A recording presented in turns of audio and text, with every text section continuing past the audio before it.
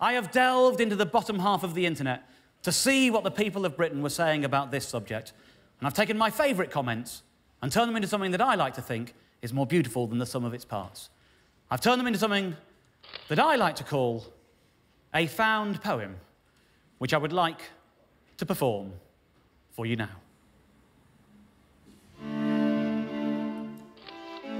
One wonders in what sinister way these double yolk eggs are produced. I'll tell you exactly how these Frankenstein eggs are produced.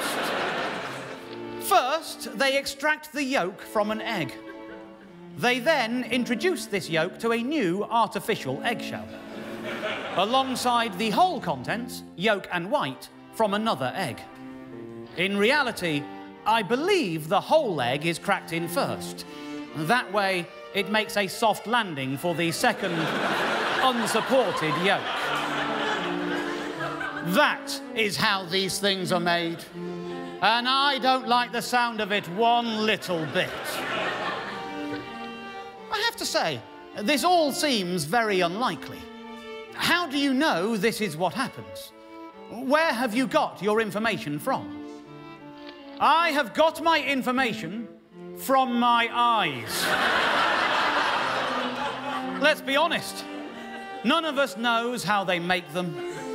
But this is my theory. And it seems to me that this is the best theory we have on the available evidence. Well, I have kept chickens for 18 years. And I can tell you that double yolkers happen quite often. That is my available evidence. Your theory is nonsense. OK, maybe I am wrong about the details. but the important thing is, it's not natural. it is natural. It happens naturally. You are wrong. My hens only produce double yolks if they've had a fright. Are M&S going to go around alarming them on purpose? Poor hens. To know whether this is right or not, you have to really understand what eggs are. You have to know what eggs are really for. God, or Mother Nature if you prefer, gave us eggs for breakfast. if he or she, or whatever, had wanted us to have two yolks in each egg, then all eggs would have two yolks in. By that logic, surely it follows that God wants some eggs to have two yolks in. Yes, exactly.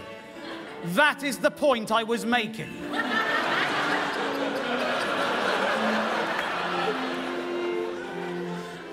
if eggs come from chickens, and chickens come from eggs. But we keep eating all the eggs. Why are still chickens? I thank you.